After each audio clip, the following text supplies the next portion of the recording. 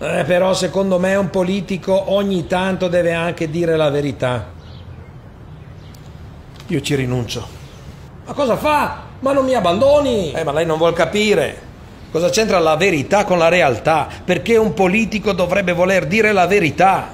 Cioè, I politici non vogliono dire la verità. Ma non sono i politici, è la gente. La gente non vuole sentirsi dire la verità. La gente non vuole sentirsi dire che deve consumare di meno, che deve cambiare abitudini. La gente vuole sentirsi dire che se c'è da punire qualcuno, siano puniti gli altri. Che se c'è da penalizzare qualcuno, siano gli altri. Ma lei se l'immagina se veramente un politico dicesse quello che pensa dei suoi elettori? Non adesso basta, veramente basta con questa politica dello slogan e della propaganda. Siamo sinceri, se io avessi una soluzione, non mi cercherei uno stipendio in Parlamento. Se io avessi delle soluzioni, non sarei nemmeno umano perché non esiste un politico che abbia una soluzione che mette d'accordo tutti. E se io credessi nella coscienza della gente, non andrei in giro in cerca di ultra e di tifosi come voi. Diciamo le cose come stanno. Per me Fare il politico è solo la risoluzione dei miei problemi. Ho uno stipendio, una pensione. Ho la visibilità che serve in un paese ipocrita per essere veramente qualcuno.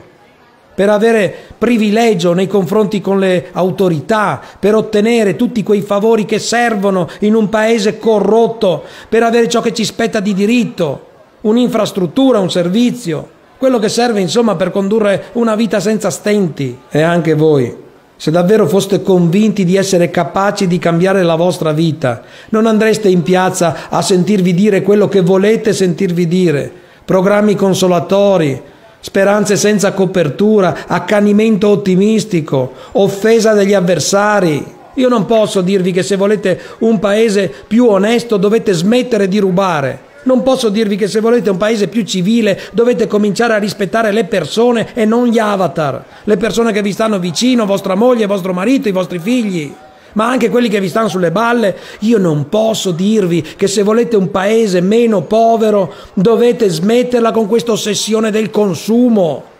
Dovete volere meno outlet, meno villaggi commerciali, meno multisala.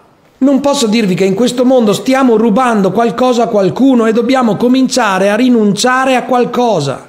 Non siete capaci di rinunciare. Non sapete smettere di fumare, smettere di bere, non sapete rinunciare a portare i tacchi alti, a tingervi i capelli. Non sapete accettare quello che siete. Volete che vi dica che siete diversi, che i migliori in questo paese siamo noi. E allora ve lo dico per continuare a essere quello che sono, per non cambiare a mia volta, ve lo dico, i migliori in questo paese siamo noi! L'inverno del nostro scontento si è trasformato in estate piena!